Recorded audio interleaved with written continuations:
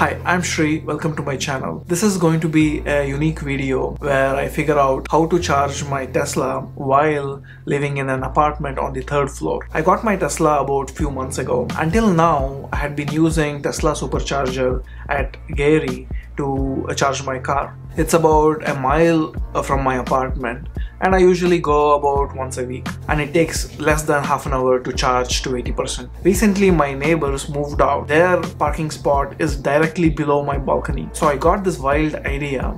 If I ran a cable through my balcony all the way to the parking spot on the ground floor I'll be able to charge my car and I wouldn't have to go to Tesla supercharger. One disadvantage of supercharging station is I always went after 11 p.m. so that way I would get the best rates for charging but so with this approach it's very convenient and I don't have to go to the supercharging station at 11 p.m. So one thing I want to be clear before we get started. This method is unusual potentially dangerous and it might not be permitted in many situations. Always check with your building management before attempting something like this. So before I got this idea, I didn't even have a Tesla charger at home. Then I realized if I'm going on road trips, it would be nice to have a home charger where I can take to Airbnbs to charge my car. While there are superchargers everywhere, it's just convenient to charge it at home and not go to a supercharger station especially after a long drive. Before I tried this approach, I wanted to know the length of cable I might need to run it from my third floor balcony to the parking space on the ground floor. So I found out that with Google Earth, you can estimate the height of the building. Using that information, I found out that if I have a cable which is about 40 feet in length, that should be plenty enough to run it from my apartment balcony to the parking space. There's uh, Google Earth and if I put my cursor on the ground uh, you can see on the bottom right it is at uh, 78 meters.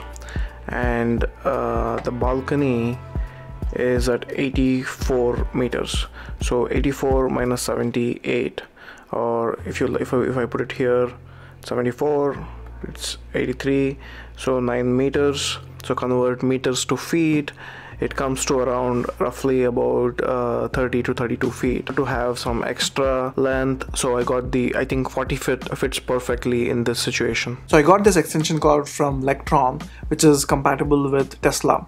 It adds about 20 feet to Tesla's home charger. Now Tesla's home charger is already 20 feet. With Lectron adding another 20 feet it adds up to 40 feet and that's what I need to run a cable from my third floor balcony all the way to the parking space so my car has been charging overnight and it's almost uh, close to the 80%. So I'm going to go down to the uh, parking space on the ground floor and unplug the charger. Then I'm going to pull up the charger back into the apartment.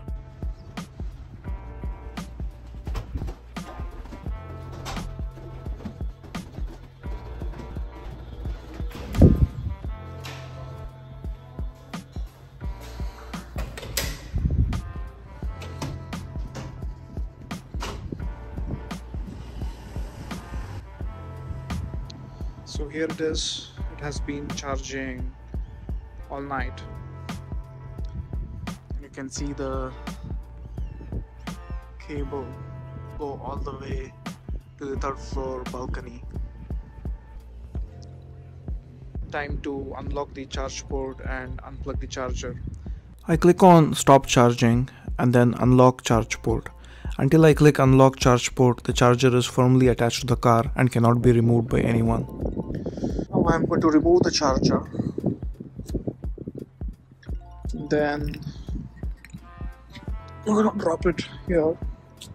Now I'm going to run back to my apartment and pull up the charger.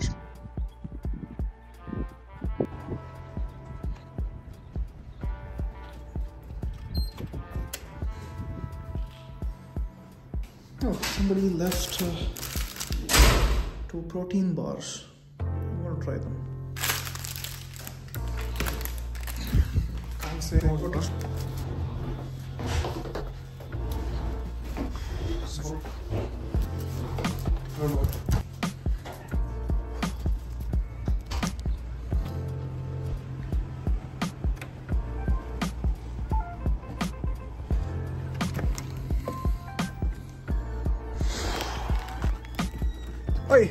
Come inside. So here I am on the third floor balcony and I'm going to start pulling up the charging cable.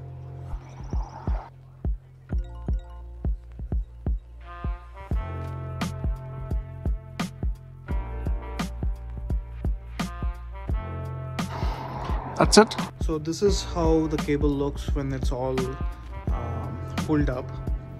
It is about uh, 40 feet of uh, charger cable 20 feet from um, Tesla's charger 20 feet from Lectron's extension charger. Lectron's cable is like pretty thick when compared to Tesla's one. You can see on the left you have Lectron on the right you have uh, Tesla's charger. You can see the thickness and also uh, there's morning dew and I don't have to worry about all of that because this is pretty solid. And uh, the solution is working for me for now. And I have connected this to 110 volts. It pulls about 117 volts and 12 amperes of uh, current. And this cable goes all the way down there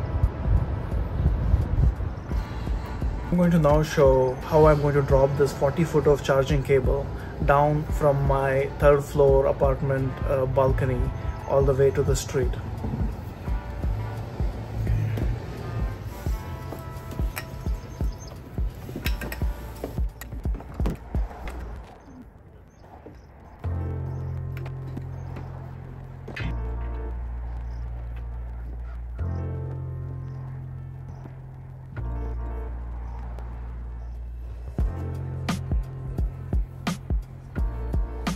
There you go. I usually let this go all the way down there and it fits in nicely. But I'm going to pull it up because the charging is almost done and this is how it looks. The charging speed when connected to the 110 volt standard outlet is the slowest but I don't have a long commute and this works for my uh, use cases. This has been a great solution for me allowing me to conveniently charge my Tesla at home despite living several floors up in an apartment building. Is it perfect? No, but is it a good workaround for those who live in the apartment with electric cars? Absolutely. I don't think this is a long-term solution for me because the parking space below my apartment is a two car parking space and it goes for about $400. For me, it's not worth to get that parking space so right now it is empty so i'm going to charge as long as they allow me to.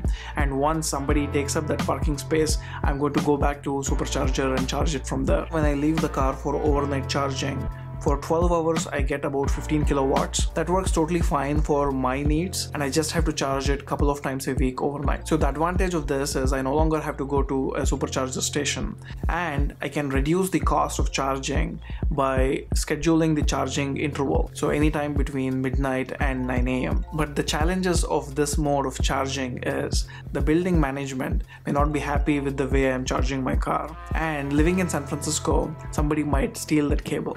So I'm going to continue charging as long as they allow me and once that window is gone I'm going to go back to supercharger or find an apartment which has an EV charging station. Let me know in comments if you tried something like this or if you have any other solutions for EV charging in apartments. As always don't forget to like this video if you found it helpful and share it with your friends. Hit that subscribe button for more content like this. I'll see you in my next video.